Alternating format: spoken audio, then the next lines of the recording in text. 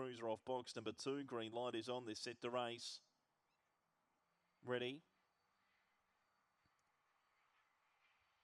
And racing, winning the start out deep was Princess America. Layback Cruiser driving through on the rail, always there. And Gallopale were handy as they jam it on the fence. Zoe's intention mid race. Princess America got away. Five in front of Layback Cruiser with a task ahead. Then Zoe's intention, Gallopale, but in the straight it's Princess America beating Layback Cruiser. Zoe's intention, Gallopale always there, was last in. Run was 18 and 04. Favourite goes down. Princess America back off the deck literally.